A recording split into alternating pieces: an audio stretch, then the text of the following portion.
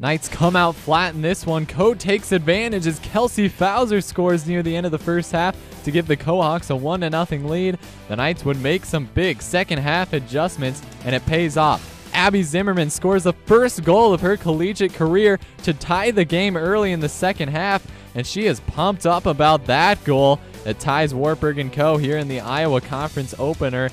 So excited that she knocks her goalie, Sophie Perez, to the ground. They get up, they'll be all right. And the Knights keep the pressure on. They outshot Coe 16 to 4. Olivia Jansen fires one. Can't quite score, but later on, Brittany Frush can connect into the back of the net. Ashley Kearns would add a goal off a corner kick, and the Knights defeat Coe 3 to 1 in the Iowa Conference opener.